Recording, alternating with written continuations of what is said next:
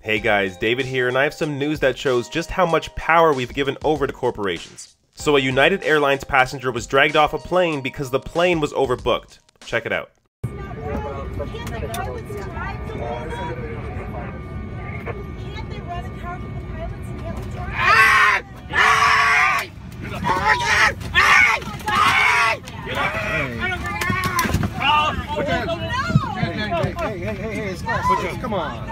Come on, come on.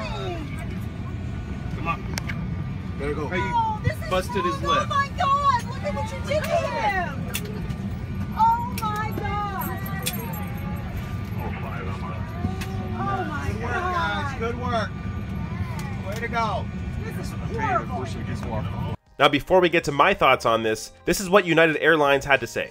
Flight 3411 from Chicago to Louisville was overbooked. After our team looked for volunteers, one customer refused to leave the aircraft voluntarily, and law enforcement was asked to come to the gate. We apologize for the overbooked situation. Now, what United Airlines doesn't tell you is that the passenger was a doctor who was expected to arrive in a Louisville hospital the next morning to see patients. Now, amazingly, it's completely legal for an airline to forcibly remove a passenger from a plane, even if the reason is because they screwed up by overbooking that plane. But that's just the thing. They didn't really screw up. Airlines do this all the time. When you buy a ticket and pick your seat, that doesn't mean you have a seat. They reserve the right to kick you out of that seat for whatever reason they choose, legitimate or not. And they purposely overbook planes so they can maximize profits. So airlines do this in case the passenger decides to cancel their flight last minute, so the plane can still be filled. So essentially, the airline's revenue is increased directly at the expense of delaying customers. Customers who may suffer lost wages from missing work, or lose a day of vacation at a resort they already paid for, or missing an important family get together. Whatever it